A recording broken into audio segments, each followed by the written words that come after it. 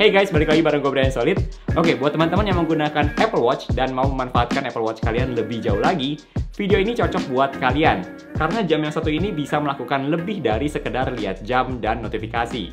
Nah, walaupun untuk video kali ini gue menggunakan Apple Watch Series 8 sebagai contoh, tapi tenang aja, karena banyak dari fitur yang akan kita bahas kali ini juga tersedia di Apple Watch seri lainnya. So, tanpa perlu berlama-lama lagi, langsung aja kita ke tips dan trik Apple Watch yang pertama, yaitu di bagian watch face. Oke, pertama, teman-teman bisa langsung ganti watch face Apple Watch kalian tanpa harus lewat iPhone. Kalian tinggal tahan aja watch face Apple Watch kalian, lalu swipe ke bagian paling kanan untuk tambahin watch face baru yang sesuai dengan selera teman-teman. Nah, kalau kalian udah pernah save atau menggunakan beberapa watch face, kalian tinggal swipe ke kiri atau kanan untuk ganti watch face. Bukan hanya itu aja, kalian juga bisa langsung edit watch face dari Apple Watch. Caranya juga sama, tinggal tahan aja watch face yang mau kalian edit, lalu klik edit. Nanti kalian bisa atur warna, komplikasi atau data yang mau ditampilkan di watch face, seperti cuaca, aktivitas, alarm, dan sebagainya. Masih di bagian watch face, teman-teman juga bisa tahu jam berapa lewat getaran haptic feedback seperti ini.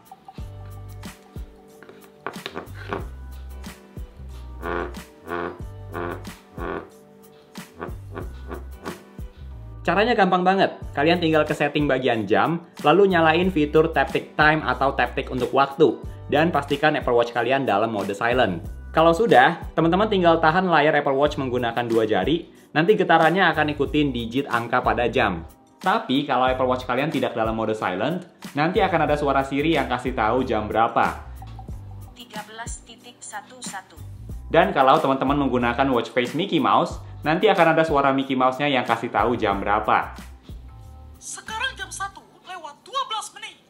Next di bagian layar utama Apple Watch dengan grid view seperti ini, kalian bisa geser posisi dan hapus aplikasi seperti di iPhone. Caranya tinggal kalian tahan aja layar utama Apple Watch ini, lalu klik Edit App. Nanti kalian tinggal tahan dan geser aplikasi yang mau kalian pindahin posisinya, dan kalau mau hapus aplikasi, tinggal klik aja tanda X di aplikasi tersebut. Tapi kalau kalian menggunakan tampilan list atau mendaftar seperti ini, kalian tinggal swipe ke kanan untuk hapus aplikasi.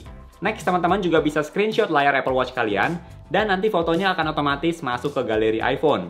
Kalian perlu mengaktifkan fitur screenshot ini dulu di setting general atau umum, lalu pilih jepretan layar atau screenshot, dan tinggal kalian nyalain aja. Nanti kalau mau screenshot layar Apple Watch, kalian tinggal tekan digital crown dan tombol samping secara bersamaan, nanti fotonya akan langsung tersimpan di galeri iPhone. Next, fitur yang satu ini juga sangat gue rekomendasikan teman-teman untuk nyalain, yaitu Assistive Touch. Karena kalian bisa kendaliin Apple Watch kalian dengan cara mencubit atau mengepal seperti ini.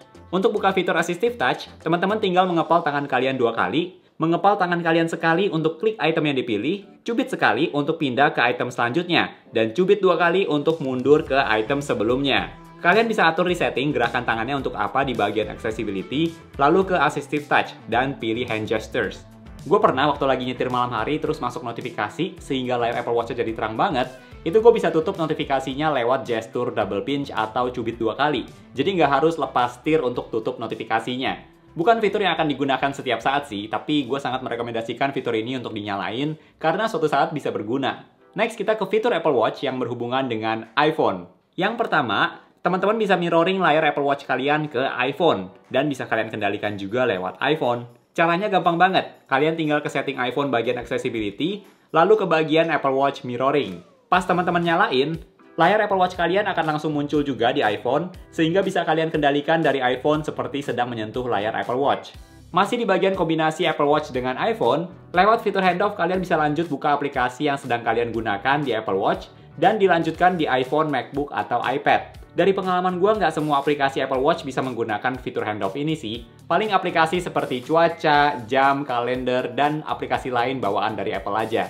Selain itu, kalian juga bisa ketik di Apple Watch misalnya untuk balas iMessage, tapi lewat iPhone. Jadi pas kalian buka keyboard di Apple Watch, iPhone kalian akan otomatis dapat notifikasi Apple Watch keyboard input seperti ini, dan pas kalian klik, nanti akan muncul keyboard di iPhone yang tentunya kalian bisa langsung ketik, dan akan langsung terupdate juga di Apple Watch. Jadi kalau kalian merasa keyboard di Apple Watch itu terlalu kecil, susah untuk ketik, kalian bisa ketik dari iPhone yang menurut gue ini merupakan fitur yang bagus. Tapi gue lebih menyarankan teman-teman menggunakan auto dictation untuk ketik di Apple Watch karena lebih gampang, tinggal ngomong tanpa harus ketik hurufnya satu persatu. Dan bagusnya lagi, bisa dalam bahasa Indonesia. Nanti tinggal pilih aja dictationnya untuk bahasa Indonesia. Dari pengalaman gue, fitur ini cukup akurat kok, jadi ini fitur yang bisa diandalkan juga. Kalau soal aplikasi di Apple Watch, ada beberapa aplikasi yang gue bisa rekomendasiin ke teman-teman. Misalnya untuk sosial media, kalian bisa buka Instagram dan Twitter langsung dari Apple Watch. Untuk Instagram, kalian perlu download aplikasi yang namanya Lens. Jadi bukan lewat Instagram secara langsung. Tapi cara menggunakannya sama kok, seperti di aplikasi Instagram. Kalian bisa lihat post Instagram, bisa like juga, dan sebenarnya bisa lebih banyak lagi, seperti komen, lihat Instagram story, dan sebagainya. Tapi kalian perlu upgrade aplikasi Lens ini ke versi Pro untuk bisa menggunakan Instagram di Apple Watch secara maksimal. Nah, sama halnya dengan Twitter, lewat aplikasi yang namanya Chirp. Kalian bisa tweet, like, retweet, tapi kalau mau menggunakan full version seperti Twitter di iPhone, kalian perlu upgrade aplikasi Chirp ini ke versi Pro. Tapi walaupun berbayar, aplikasi Lens dan Chirp ini sistemnya sekali bayar, jadi bukan subscription, yang menurut gue ini bagus juga buat kalian yang mau tetap up to date dengan Instagram dan Twitter tanpa harus buka lewat iPhone. Atau ada juga yang versi gratis, tapi fiturnya lebih terbatas. Next, kalau kalian menggunakan kalkulator di Apple Watch, ada fitur yang bagus buat kalian yang misalnya lagi mau kasih tip karena kalkulator di Apple Watch bisa kasih cara hitung yang lebih mudah lewat tombol tip. Jadi setelah kalian klik tombol tip, teman-teman bisa putar digital crown sesuai tipnya mau berapa persen, dan angkanya akan menyesuaikan. Lucu juga ya, ada kalkulator yang bagus di Apple Watch, tapi nggak ada kalkulator di iPad sampai hari ini. Hmm. Nah, buat teman-teman yang menggunakan Apple Watch, gue juga sangat menyarankan kalian untuk mengaktifkan fitur Siri, terutama fitur Raise to Speak atau angkat bicara. Karena kalian bisa langsung kasih perintah ke Siri tanpa harus panggil hey terlebih dahulu. Jadi misalnya mau buat alarm, reminders, dan sebagainya, itu kalian bisa langsung ngomong tanpa harus panggil Siri terlebih dahulu, yang menurut gue ini fitur yang sangat memudahkan. Set alarm at 1 p.m. Next, buat kalian yang misalnya lagi nonton bioskop, gue juga sangat menyarankan kalian menggunakan fitur mode teater karena ini fitur yang bagus. Ketika watch face-nya nyala, kalian bisa langsung tutupin layar Apple Watch kalian seperti ini, dan layarnya akan otomatis mati.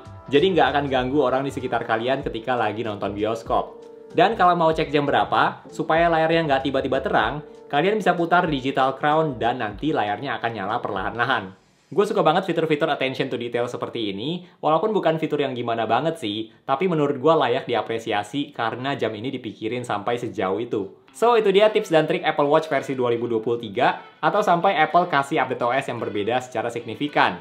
Kalau menurut teman-teman, tips dan trik yang mana nih yang jadi favorit kalian? Atau ada tips dan trik yang belum disebutkan di video ini, tapi berguna buat kalian? Boleh banget untuk share di kolom komentar ya. Thank you buat teman-teman yang udah nonton. Jangan lupa untuk klik tombol like kalau kalian suka dengan video ini. Dan juga subscribe supaya kita bisa ketemu lagi di video-video yang berikutnya. Bye!